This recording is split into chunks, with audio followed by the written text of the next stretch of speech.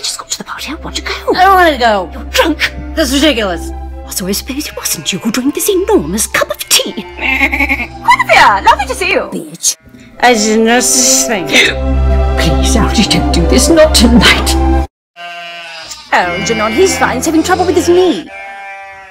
I'm okay.